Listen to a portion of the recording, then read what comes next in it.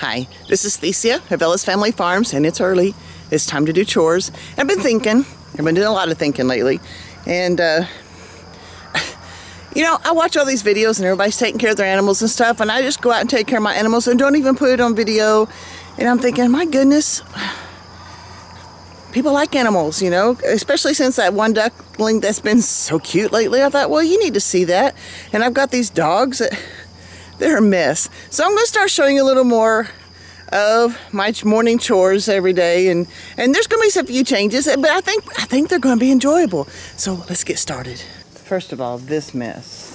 I do not understand these three. There's Bailey and Beethoven and Beethoven's so big you can't see the cat back there. But he's there. And Candy's like yeah whatever. I'm just not into cats. Oh think the cat just bit his lip. These guys are very noisy first thing in the morning. I just haven't figured out how to get them on video and feed them. I'll get that stuff figured out.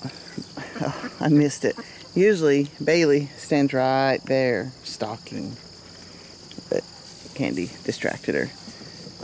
And then I'm gonna come out here in a minute and look at pick up all these duck eggs. One of the things I was going to discuss with you this morning was some of my plans for these animals. Um, I was I was watching a video yesterday of uh, Morgan Gold of Gold Shaw Farms, and he's talking about well, he he went into more in depth about his feelings about the CAFO and all the in the way that chickens are raised and you know just animals are are done in the in general. And I agree with what he's saying. The way animals are treated to go onto our plate are is horrendous. It's just terrible. And uh, so that's part of the reason I've come down, that started coming down this road. But I'm trying to make it gel in my mind how I want to handle it. This last year, getting Cornish crosses was has been very difficult for me. And my turkeys, you know, uh, if I had not run into um, the turkeys there at the at the farm store, I would not have anything for Thanksgiving this year. So I've been thinking about that. I'm I'm still going to do my Cornish cross and I'm going to still try to raise them as best I can when I can get them, but I've got to come up with other sustainable ways of getting uh, birds. So, like Morgan, I'm, I have, uh, that's the reason I got those little chicks that are in there with the turkeys and the Cornish crosses right now, and I'll show those to you in just a moment. But that's the reason I started getting them because I want I'm going to start doing heavier breeds so that I can have the eggs. And we don't go through a lot of chicken eggs here, and I do have a, a couple of uh, egg customers, but um, I need the I need more meat than I need eggs most of the time. So I'm trying to figure out how to do that. And of course, all my roosters, not all my roosters. I'm going to need one rooster to. Uh, are going to become chicken broth for me because chicken broth is a huge staple in my diet anymore. And the ducklings, the same thing with the ducklings. I'm trying to expand my duck flock. I just haven't decided how much yet. You know, uh, I want. I'd like to start selling duck eggs. I keep hearing how people really need some duck eggs and stuff. I'm kind of out here in the middle of nowhere. I have not started getting into the marketing part of it, and the reason I have not is because I don't have the volume for it. So I'll be perfectly honest. I have no idea how many ducks I need to get. I don't have any idea how how much I need for uh, eggs, and so it's kind of funny because I can go and nobody wants duck eggs, nobody wants any eggs for a long time, long time, and all of a sudden three or four people or more want eggs. I'm going, oh, okay, especially in the wintertime, but that that is something I'm not going to. Uh, you know, wintertime is downtime, and I think that birds generally have a downtime too, because that's the way God made us. But one way or another, I am trying to decide how I want to do my birds, all my animals. You know, I want to, them to be happy and healthy, and I want to have health, healthy food and I want to be more sustainable for sure. Like I said, I'm going to continue with the Cornish crosses, but I am going to start, like Morgan Gold, I'm going to start experimenting with, I have already started, it just takes a while, you know, it takes a while for a chick to turn, to be old enough to lay eggs and become meat. So that's what those little barred rocks are out there in, in uh, the other pen. So yes, I'm going to start experimenting, and I'm going to I'm going to follow Morgan Gold on his Gold Shaw Farms YouTube channel, to see what how his goes. I have now he's all the way up in Vermont, I believe, and I'm in northeast Oklahoma, and that's considerably further south. So another thing I need to consider is I want the bigger, heavier meat birds, or you know. Uh, dual purpose essentially. But I need them that's not so big that they'll pass out from the, the heat that we have in the summertime here. So there's a lot to think about, lot to, lot to do. But uh, yeah, I'm going to be following him and I'm going to be doing making my own decisions on how I want to raise my animals here for, for my consumption, honestly. What do you see?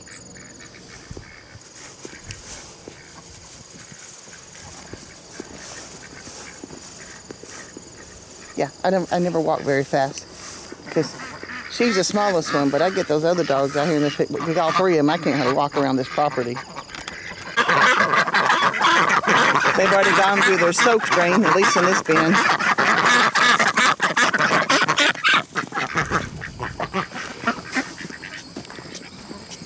Now we'll give them some of the dry grain. That gives me something to put eggs in because now we're about to go on an egg hunt.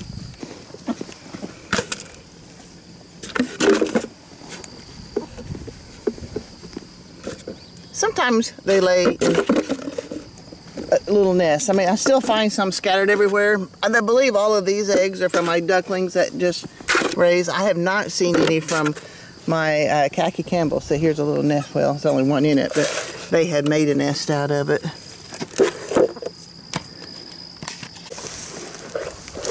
And I don't believe, oh, I do, there is one there because there's another nest back up in here. And there's one out there because I'd already found five, so I wasn't expecting to find this one. It's hard to get without getting stick tights in my hair.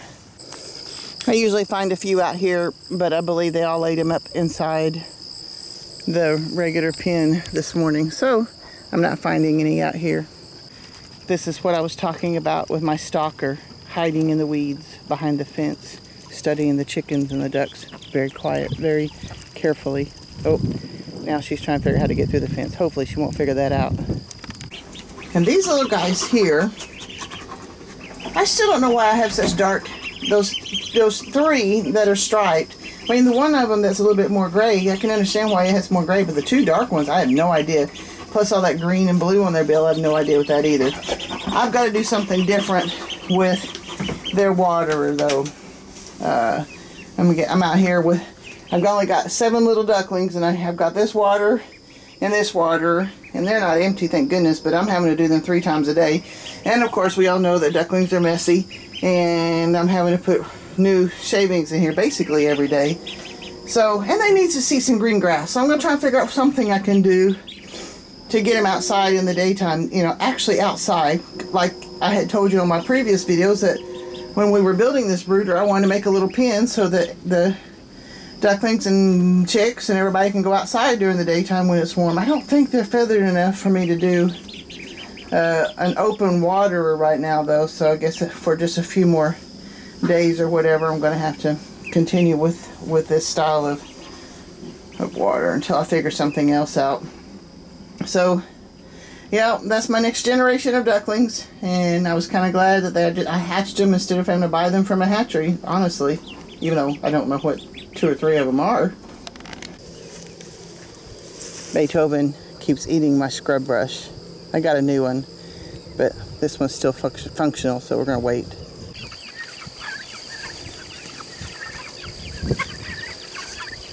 Isn't that crazy? Watch how they run for that new grass.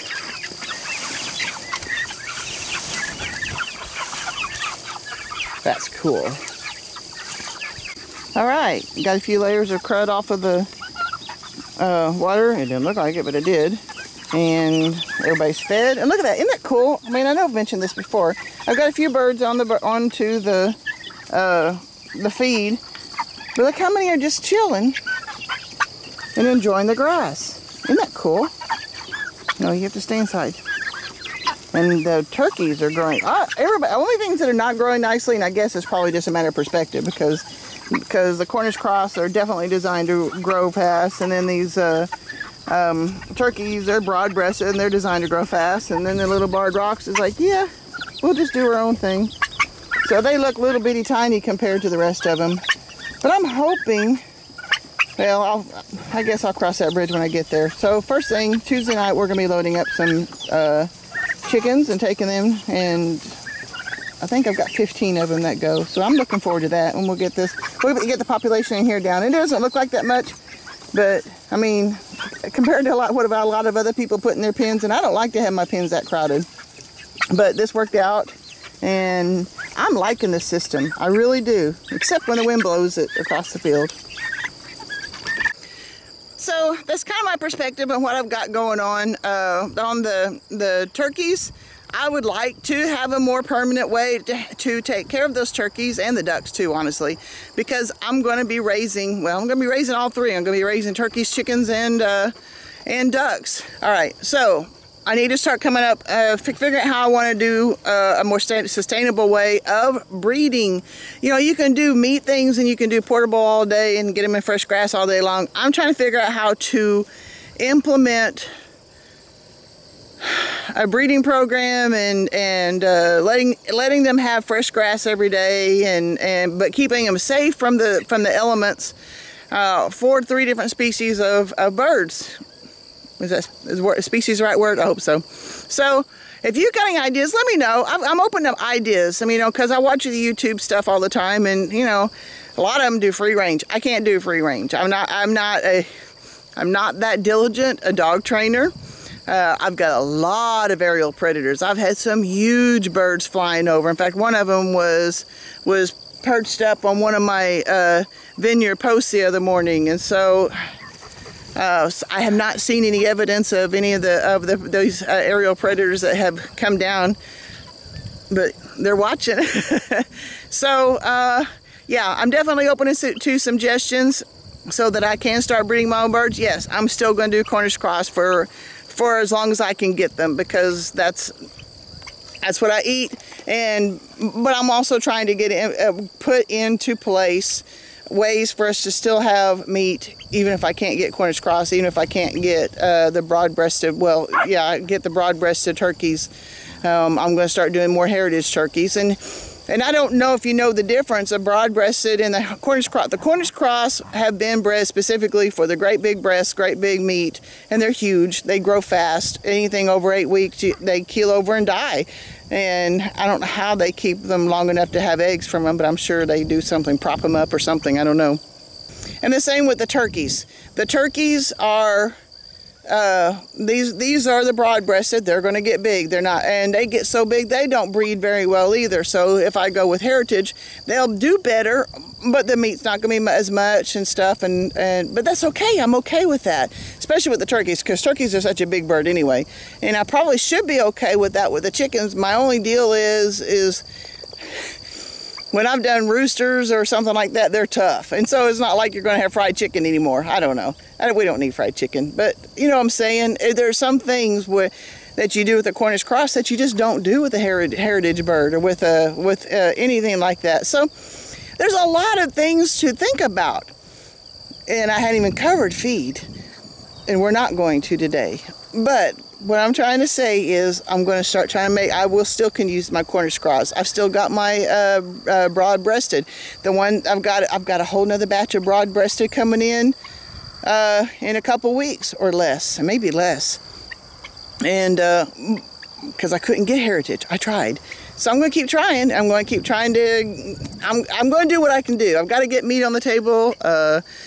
I'm hoping to do some uh, hunting this winter and get some venison. I don't eat venison anymore. Apparently, that's uh, I know I'm allergic to beef, and the doctor said probably all red meat. So, kind of hate that because I like venison too, and it makes a really in the, in the way we do it, it makes a really good substitute for beef. I've I've enjoyed venison over beef for many years, but I'm just trying to get to where I can keep food on the table for our family, regardless of what's available at the hatcheries, regardless of what's available in the grocery stores. And I hope that you are making some arrangements to do that too. I'm not asking you to go out and raise your own birds. I don't know what I'm asking you to do. I am, I think what I really am asking you to do is consider what's going on. And I know uh, I know I'm in a little rural place and we've got a little, it's a Dollar General up here and these poor guys, I feel so sorry for them.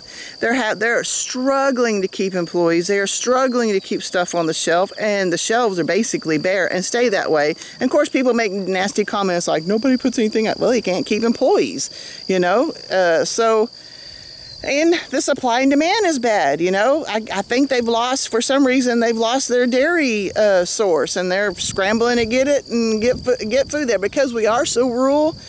It is an important store for for people out here. It's not so much for me. Well, now that I have Kinzie, it is apparently. But in general, before I got Kinzie, I didn't. I think I'd only been to that store two or three times in a, uh, in a two or three month period. You know, I don't know. Now I'm there all the time. Kinzie goes, Can I have this? Never mind. So, supply and demand is rough right now, regardless of what the reason is, you know, and uh, what store it is. And right now, I'm seeing it firsthand in that little dollar store up here on the corner. So, keep in mind what you got, what you need to have for for your food, and and uh, if you need to stock up a little bit, stock up a little bit. If you need to start growing some of your own food, and now also on another thing too, it's good to grow your own food, but also to think about how much do we eat and can I grow that much? I can't, but I can make a dent in it. So that's where it goes. So that's all I got for this morning. We've got a busy day today.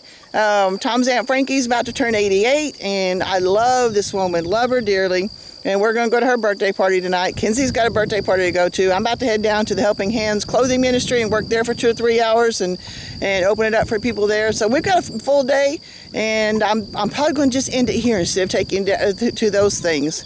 And um, think about your food.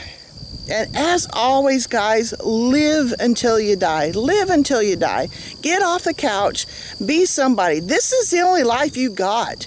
You know, I, you don't get do redos. And so enjoy your life and live until you die. God bless, guys. And I really mean that. See you next time.